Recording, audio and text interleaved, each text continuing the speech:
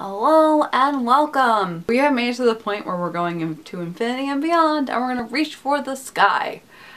Toy Story 4 finally came out and we're going to talk about it. Toy Story 4 was released. It was hyped for many, many, many years and talked about. And I think we found out that they knew they were doing it for a very long time, but kept it under wraps for many years. And it's been joked about, especially with the Muppets. Muppets Most Wanted has a joke about it. While they wait for Tom Hanks to make Toy Story 4. As well as other media, I'm sure, but it's finally arrived. And I got to see it. All of our characters are back, so of course Tim Allen and Tom Hanks are Buzz and Woody.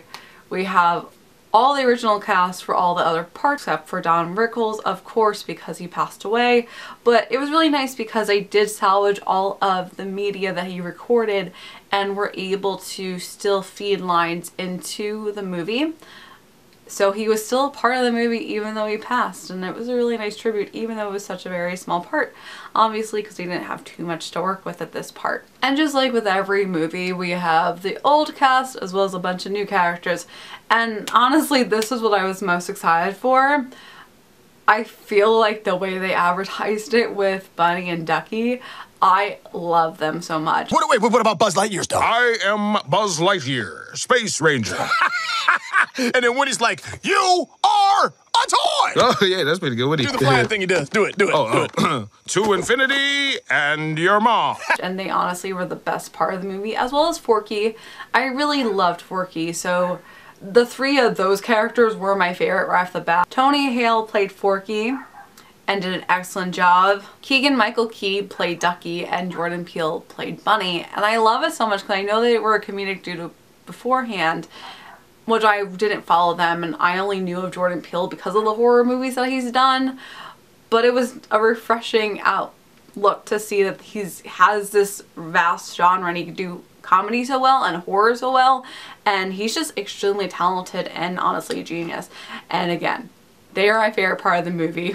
Forky I love too but like Ducky and Bunny were number one and they were the best and then we also had Gabby Gabby and the creepy knockoff slappy dummies that were also new characters and Duke Kaboom who was Keanu, Keanu Reeves. And Gabby Gabby was voiced by Christina Hendricks and Christina Hendricks I've seen in a couple different things and she did a really great job with her voice and we'll get into that more in a second breaking down the character. Technically Ducky and Bunny were also minor characters, but they stole the entire movie and were, again, my favorites. And I would love to see more with them used in shorts in the future because we all know that this is still not the end of Toy Story.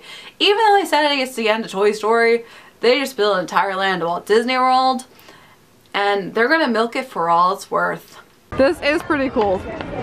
I do like the giant fixtures that we're walking to. Well, let's break down the movie anyways. And warning, there will be spoilers because it's just easier to talk about.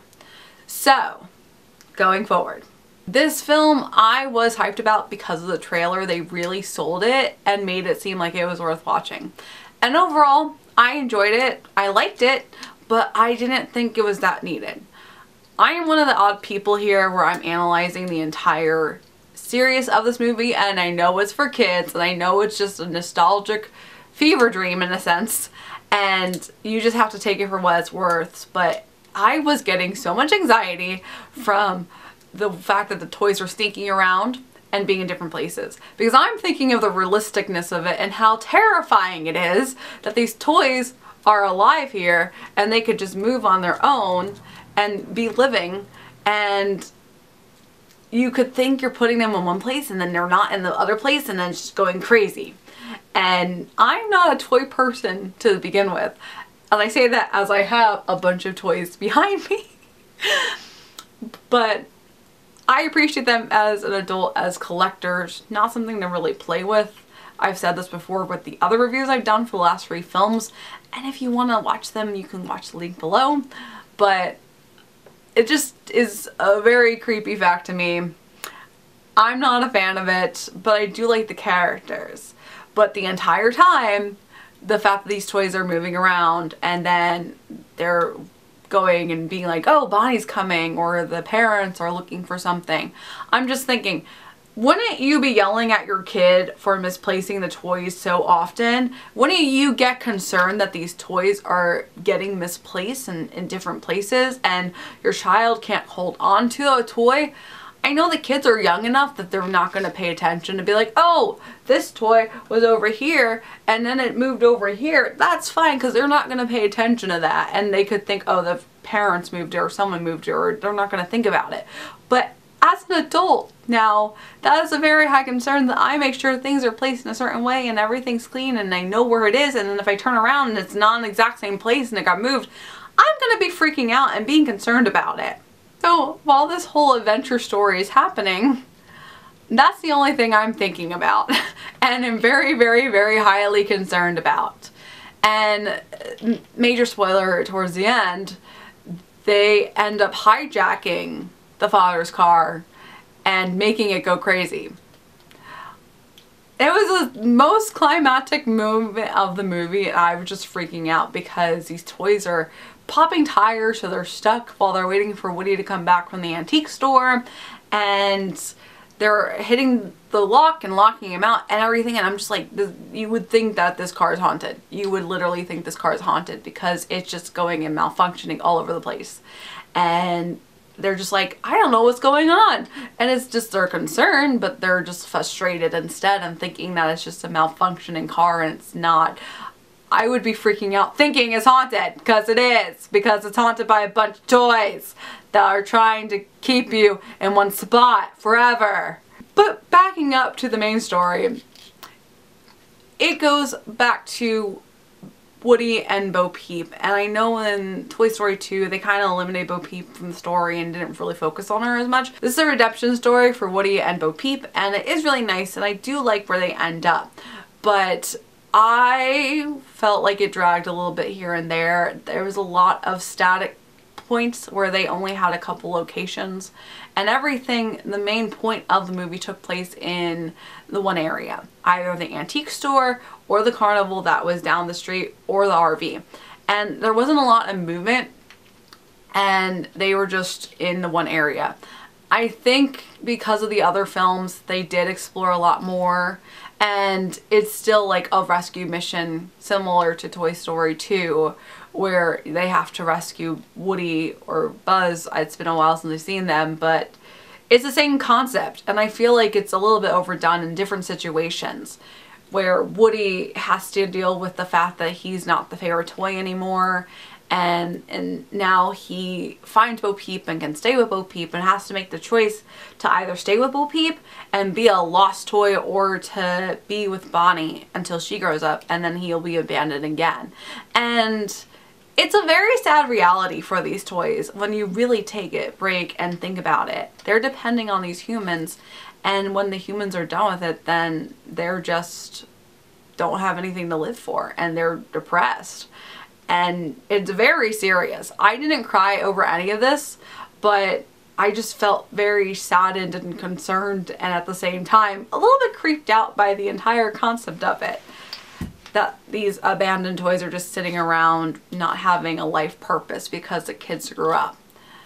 Another side note that's not related to the story at all but is is I was more intrigued by Andy. Andy's off to college and then the sister Molly was never talked about and I know at this point they're not relevant to the story but I want to know what's going on with them. I want to know their life and I'm very intrigued by their life and how they grew up and what happened to them and what Molly's doing now that she's grown up and what is Andy studying. Like these are the questions that I want to know. And I know it's not their story. It's Toy Story. It's Woody's story. But I'm more concerned and intrigued by the human characters than the toys. The other new characters that were involved were Gabby Gabby and the creepy ventriloquist dummies and of course they had jokes about how creepy they were but at the same time I know ventriloquist dummies all look the same but they literally look like Slappy from Goosebumps. You've made Slappy very unhappy. He's not going back on the shelf, ever and I couldn't stop thinking about that. but honestly, and I hate dolls, Slappy was a better character than these are. And that's because I don't think they really had any lines. They were just Gabby Gabby's servants. Uh, Hey, howdy. hey there. Uh, sorry to bother you, but Why, you're not a bother at all. We were just out for my early morning stroll. And look, we met you. My name is Gabby Gabby, and this is my very good friend, Benson. oh, uh, Whereas Slappy is a lot of fun, and even though he's creepy, he adds so much to the story of Goosebumps. And I love Jack Black, and Jack Black did an amazing time voicing him. So I actually like Slappy better than I did these ventriloquist dummies, and I know they're completely a minor. And Gabby Gabby is the pure villain of the story, but she's really not a villain. And they even turned it down too. That her whole purpose of kidnapping Forky and because Forky gets kidnapped and Woody having to get him back because he has to return Forky to Bonnie because Forky's Bonnie's favorite toy is because Woody is from the 50s and has a voice box, and Gabby Gabby has a faulty voice box, and she just wants to be played with as well. So her motivation is valid, and you do feel bad for her. And she's not truly a villain, she's just more of an antagonist, they don't really have a true villain of the story compared to in the past where Lotso was a true villain, although it was understandable why he was a villain. And same thing with the second one, where the collector was more of the villain, but he didn't know either, and he just wanted to send them out to make money. I realize in a lot of the Toy Story films, they don't really have a straight up villain. They do have a lot of characters that do have complex morals and they have a reason behind it. So you still like Gabby Gabby for the most part, even though she is the true antagonist of it. And she does kidnap Forky and keeps him as hostage.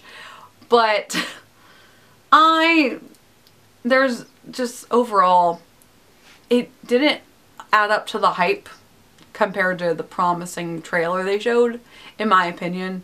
And it was needed, but it wasn't. And it wasn't a true perfect film to me, even though it's rated 100% on Rotten Tomatoes. I just didn't feel emotionally attached to it compared to the other ones because I bawled at the end of Toy Story 3, but I didn't cry at all. And I liked the comedic relief they really were the best characters. Forky, I love his existential crisis and his build up as character development worked really well. He was amazing. I do love Forky. I am not a toy. I was made for soup, salad, maybe chili, and then the trash. He also was very reminiscent to Inside Out. How Joy and Sadness worked as characters. That Joy was a really pop bubbly one and she was leader of the group and everything was her way but then sadness comes in and is just a lump of sadness and doesn't want to do anything and completely changes the plot because of the fact of who she is they use the exact same formula here where Woody's the leader of the group but then Forky is brought in and he doesn't want to fit into the rules and he completely changes the plot and makes the plot happen because he wants to be in the trash and not be a toy. So it was a little bit repetitive too and very noticeable in my opinion that they were basically reusing the same formula even though it was completely different and that's just a little nitpick that I felt while watching it. That being said, Forky is still a lot better of a character and a lot more funny of a character and a lot more enjoyable compared to Sadness was. So I give him more credit because of the fact that I enjoyed Forky about how he kept going on being like, I am trash. I laughed at that. I relate to that. So I love him. And like I said, Ducky, Bunny, best, best, best. Their scenes were hilarious. I was laughing out loud and it was amazing and they did a wonderful job. So those are my favorites. I did love them. Everyone else kind of fell flat. Duke Kaboom as well. Didn't really do anything for me either, but he was more of a minor character. But I feel like everyone will have their favorites and have different opinions about it and I would love to know your opinions about it too because I'm sure everyone else has a favorite character and not everyone's going to think the same way I do. It was just interesting. I'm still happy I got to see it and it'll be interesting how they are incorporating it into Toy Story Land again because it just opened and once they give it a little bit more time Will they add Forky? Will they add Ducky and Bunny? Will they add arcade games and do a little carnival section into Toy Story Land? Because they do have a lot of room to play with and the way it ended was very bittersweet. It was a clear ending, but also a really good beginning because they could still play around with it if they wanted to make a TV series out of it. They could do that. They could do so much with it. So I doubt that this is the end of Toy Story as a cinematic universe.